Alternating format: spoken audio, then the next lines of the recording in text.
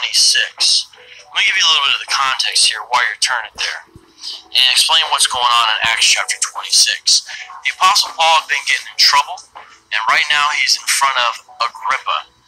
And any of you can look this up on a number of Bible or historical sources and find out who is this person named Agrippa that Paul has to give his defense before. Agrippa is in the family of Herod. Who's Herod? Herod is described in the Bible as being from Idumea, meaning, under one West's understanding, he would be what they would call an Edomite.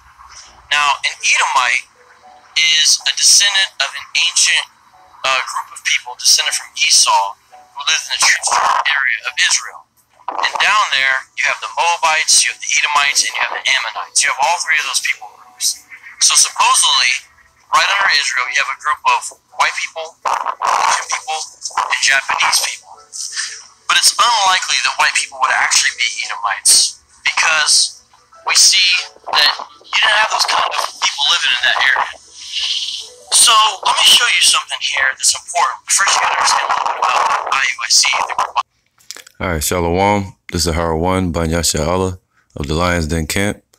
want to say Kal Halayim, La Yahweh, Bahashim Yahweh Shai, Bahashim Harakakwadash, Ma'amath. Double honor to the elder apostles of GMS and the elders. And Shalom to you, Akim and Akwatim and children that believe in sincerity and truth around the four corners of the earth. Uh, yeah, I was watching this video with uh, Dr. Edom, man, Vocab Malone, uh, spewing out his lies again, man. Uh, he went to go visit, um, you know, the repro- reprobate silver camp, IUI, La UIC, because um, they spew out lies as well. So this is not in their defense, but this is in uh, defense of the doctrine of the truth. All right, I'm gonna read this real quick. Philippians 1 and 16. The one preacheth Yahweh Shai of contention, not sincerely, supposing to add affliction to my bonds, but the other of love, knowing that I am set for the defense of the gospel. And that's what this is about, the defense of the gospel, of the truth. All right. That um people like Vocab Malone is a, a antichrist against, meaning against the truth, against against the anointed. He's a contender. All right. So he's uh Satan. So um basically an adversary.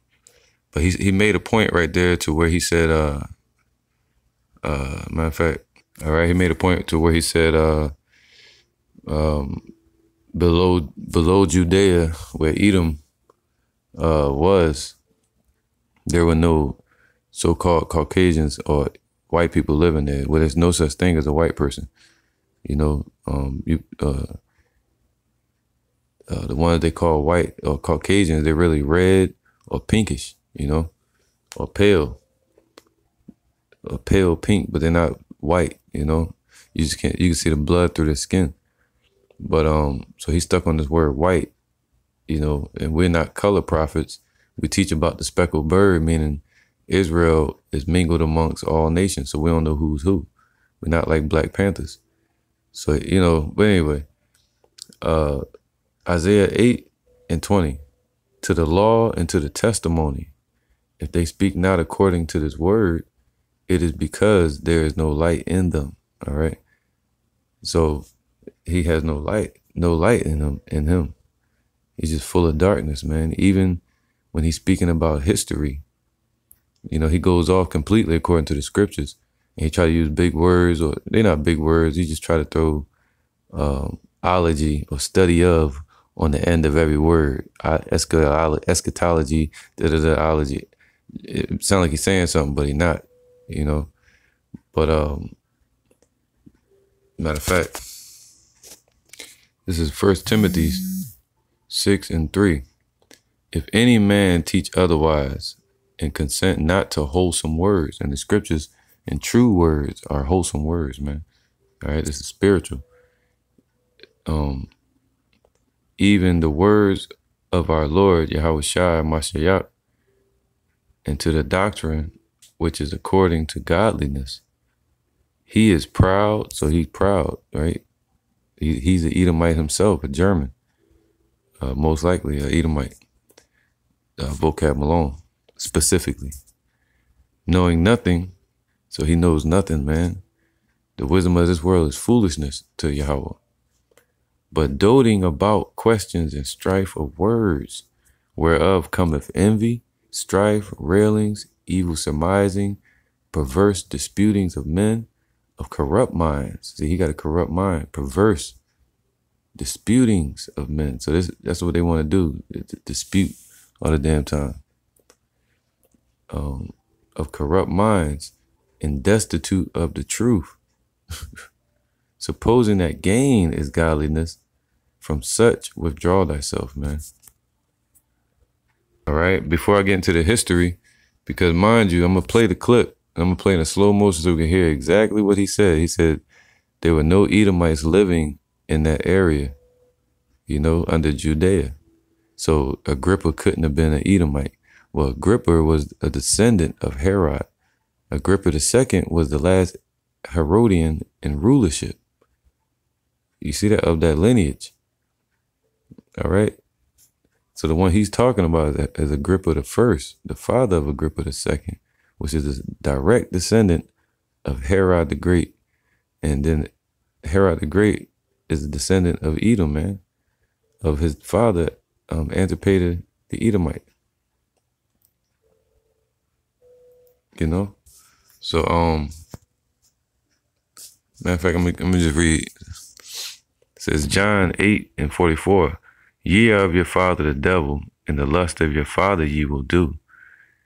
And that's what he's doing, going around the different camps uh, in the spirit of a scoffer. He's doing the lust of his father, the devil, his authority. He was a murderer from the beginning and abode not in the truth. All right. Because there is no truth in him. So um, the father of uh, Herod, the father of Agrippa, all right, the father of uh, what's his name? Uh, vocab is Edom, and uh, and going back before that, uh, spiritually uh, Cain, you know, the murderer, and Esau the murderer. All right, he speaketh when he speaketh a lie, he speaketh of his own, for he is a liar and the father of it. All right, so all right, so I'm gonna play back what he said, and uh, and I'm gonna go to the history. You know, Edomite is a descendant of an ancient uh, group of people descended from Esau who lived in the traditional area of Israel. And down there, you have the Moabites, you have the Edomites, and you have the Ammonites. You have all three of those people groups. So supposedly, right under Israel, you have a group of white people, Asian people, and Japanese people. But it's unlikely that white people would actually be Edomites because we see that you didn't have those kind of people living in that area. White people, Asian people, and Japanese people. But it's unlikely that white people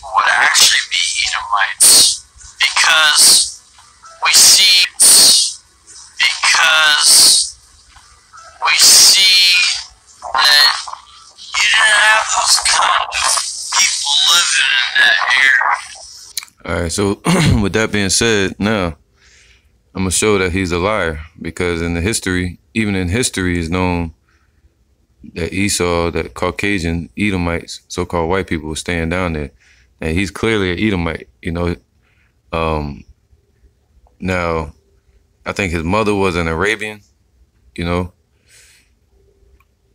or uh, something like that, and he married into um, into Israel, you know. I think his his wife was named uh, Miriam. There you go, Miriam. That was his wife. She was an Israelite, the sister of um, Aristobulus, which was the king of Judea, the true king of Judea. Judea, was this this devil here stole his seat all right. After um, you had John Hyrcanus um, had uh, uh, what's his name? Uh, Herod, the Great's father, uh, Antipater in subjection. All right. He had Antipater in subjection. And uh, um, I think his father John Hyrcanus the first uh, uh, forced Esau into um, what you, you know you can call it Judaism into being uh, following the culture of the Jews, uh, you know, following the ways of Yahweh. So they always wanted to be Israelites, but they could never be true Jews, and they weren't allowed to be. You know, it was it was forced upon them. But then you had people like Antipater, the Edomite. He wanted to be. Let me get it. All right, this is beautiful, man. Check this out.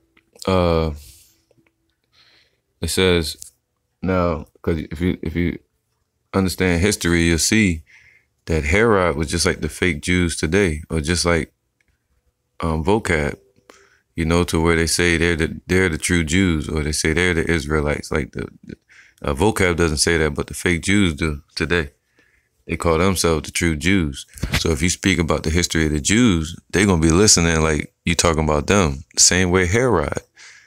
You know, if you spoke about the Jews going into captivity under Nebuchadnezzar in 586 BC, if you spoke about that to Herod, he would think you're talking about his family because um, I'm just get into it. You know, he just had a he just had a misunderstanding.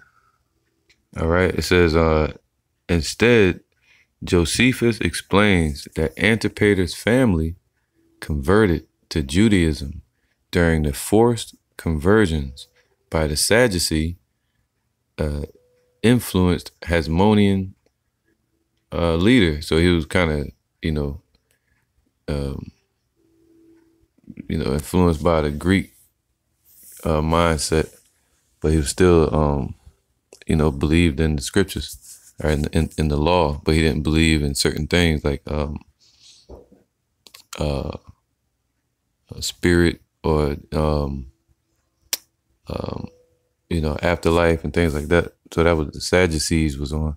But then you had the uh, um, what was they called? The Pharisees, which were you know strict on the law, and all this was a, stem from um, the time of the Maccabees. You know, that's when the Sanhedrin was really created and established and set in place for uh, uh, when Yahushua was on the scene. So that you had the Sadducees and Pharisees. So John Hyrcanus was an Israelite, a Sadducee, um, you know, a Hasmonean, right? Leader, leader, uh, John Hyrcanus. Hyrcanus threatened that any Idum- Idumean who wished to maintain their land would need to be circumcised. All right, so that's why and enter into the traditions of the Jews. So Esau had to get circumcised, you know.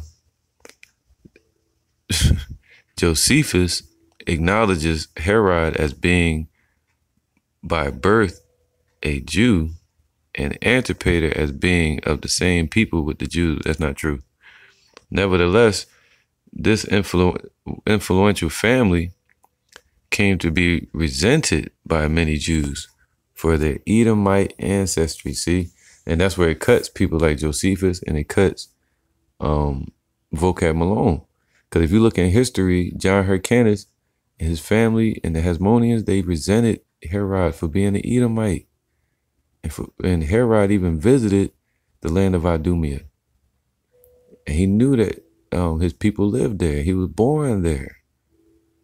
So for him to, for vocab to say that there was no Edomites or Caucasians living in that area, that's a lie. All right. Now it says, um, Josephus acknowledges Herod as being, oh, wait, my bad. Right here, number 10. Nevertheless, this influential family came to be resented by many Jews for their Edomite ancestry, a fact used by the Hasmoneans and their supporters against them. As such, in a po- polemic uh, against Herod to discredit him um, in the eyes of the Romans as unfit to become king of the Jews. Antigonus, the Hasmonean, is quoted by Josephus as referring to Herod as no more than a private man and an Idumean, half a Jew. Antipater married Cypros, a Nabatean, noble woman, um, which helped endear the Nabateans to him. Their marriage helped bring about a close friendship between him and King Aretas, Aretas, called by Josephus Aretas the Arabian, to whom Cypros was related. All right, so Antipater married into the Arabians, and that's where Herod got a little dark complexion from. But he was still unfit to be a, a Jew, a king of the Jews, because he wasn't an Israelite. And the scriptures say that we're not supposed to vote anybody over us that's not an Israelite. All right. So this guy was unfit. So um now now right here it says uh